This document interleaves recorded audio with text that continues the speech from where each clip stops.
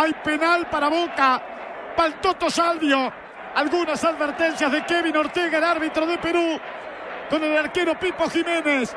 Pipo y el Toto, el Toto y Pipo. Para este penal para Boca, señores. Se merece Boca abrir el partido en Bolivia. Más allá del penal, si fue o no fue, que después lo estaremos analizando. Recomoda la pelota Salvio, se le mueve Pipo de un lado al otro. Se mueve Pipo Jiménez, va Toto Salvio. 0-0 está el partido. Boca puede empezar a ganarlo en la altura de La Paz.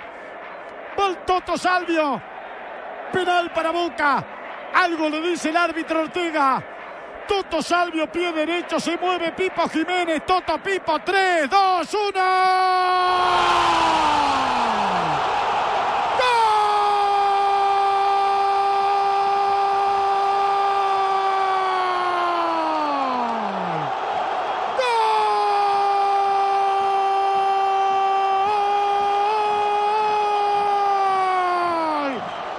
Le rompió el arco a Pipo. En el medio, fuerte, arriba. Quedó de cara a los hinchas de boca en la cabecera. Donde iba el Toto en el mano a mano. Donde la tele se queda con la reiteración de la jugada. Y cuanto más veces la veo, más dudas tengo. El que no tuvo duda fue el Toto. El Toto Salvio con el pie derecho lo justició, lo aseguró uno de los mejores jugadores del partido, porque fue con la derecha al medio y arriba para que Boca lo empiece a ganar. Claro, lo merecía Boca.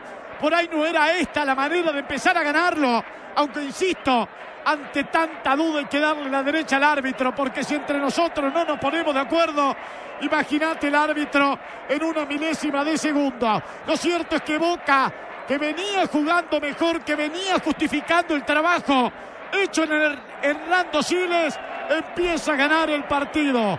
Merecidamente el Toto Salvio. Hoy lo escribí en Twitter a la tarde.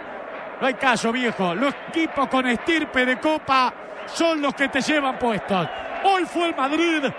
Ahora es Boca. Respeten la camiseta de los equipos históricos en los torneos importantes. Vos podés venir mal, pero cuando te agarra Boca, respetalo porque es copero. Después analicemos si juega bien o no.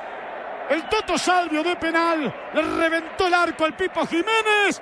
Lo gana Boca 1 a 0 de penal el Toto.